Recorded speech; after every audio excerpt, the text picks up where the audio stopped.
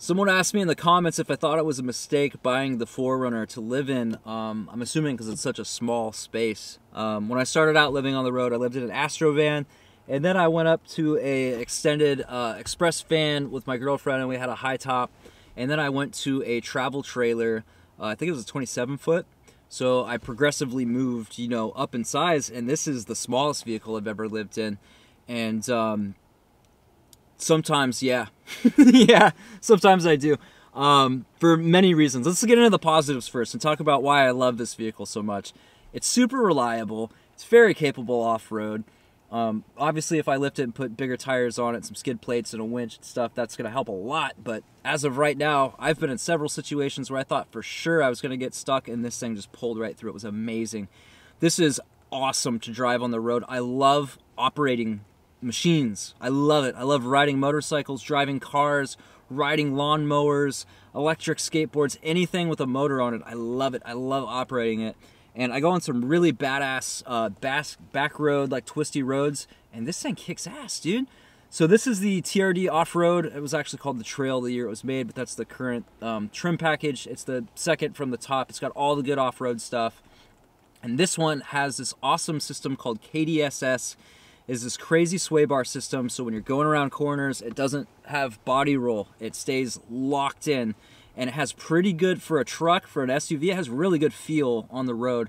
So I can slam these back roads, dude, and I can drive this thing like a car. I can drive it fast if I want to. And uh, the engine's fun. A lot of people complain about the power because it doesn't have a lot of low end torque. You've got to rev it out to get power.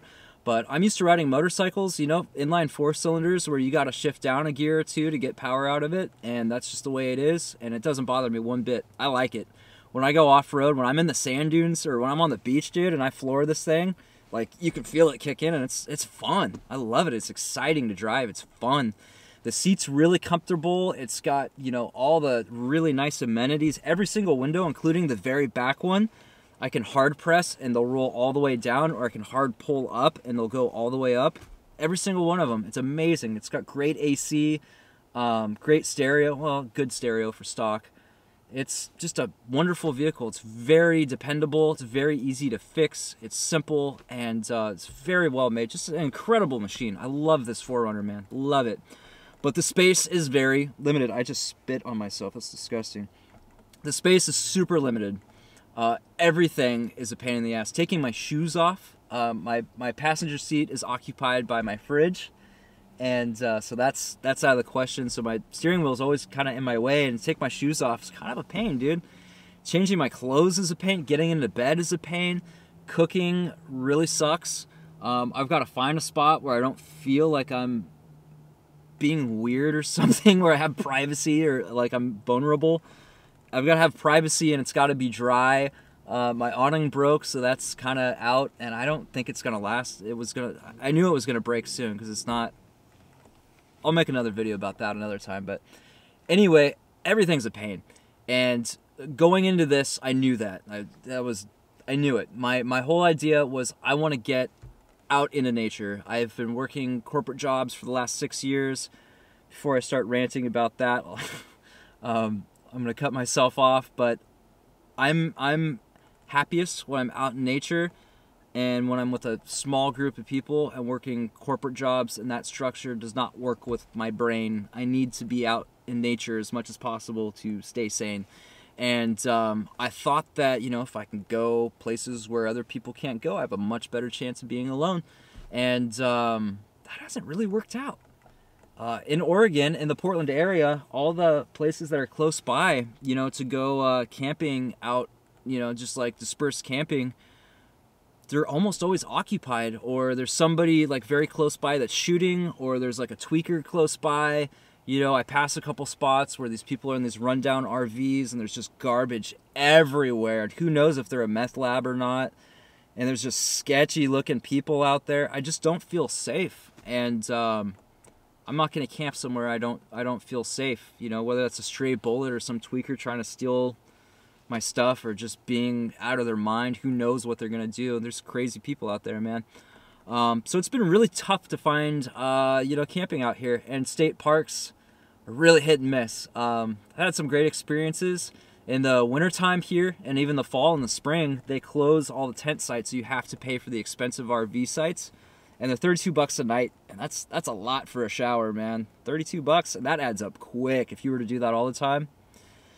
And the misses are, you know, sometimes they're just packed, or other times, like last time. This is such a this is such a side quest, but it's kind of a funny story. It's it's so ridiculous that it's funny. Um, so I got this really nice spot at.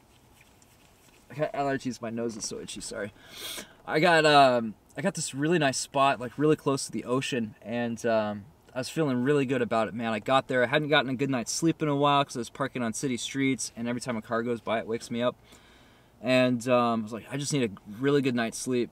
So I, I I got this spot at the state park, and it was like nine o'clock. I'm sitting there next to my fire so there's there's my spot where my I park my truck, and then there's my fire pit, and then right next to my fire pit for some reason is the next campsite. Everywhere else was open.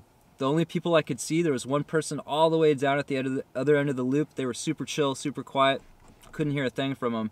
And there was another couple that in an airstream that uh, was pretty far away. I could just barely see them, couldn't hear them. I was like, this is great, man. I'm gonna sleep so good tonight. I'm chilling out here. I'm listening to this like chorus of frogs. I can hear the wind coming through the trees. I can hear the, the ship's horns out in the Pacific Ocean, you know, out there. It was really nice. I was just really chilling and uh, just really feeling good. And then I think it was 9, 9.30. This couple pulls up in this minivan and I got two kids and they pull up and their, their music is really loud as they're pulling up. I'm like, oh God, here we go. And they, they pull up right next to me. And um, so their truck is like five feet away from from me, and it's dark, and the kids are yelling. They've been cooped up in a car all day, and they had a ton of energy, and they just wanted to run and play and do what kids do, you know. And um, they left the car running with so they could use the headlights to figure out how to set up their tent for the first time. And they left the music on, and their car was pretty loud. I think they had like an exhaust leak, and it stunk too because the exhaust pipe was like five feet from me. I'm sitting here like chilling in my fire, like smelling like breathing this exhaust, and uh, they had to yell over the car so they could hear each other try to set up this tent, and they're yelling at the kids the whole time, and it's like, man, some people have just like such a different idea of what camping is like. To me, I, I just want to enjoy nature and be peaceful and chill. And other people, it's like, I guess it's just, I, I don't know it's totally different from what my uh, from what I want.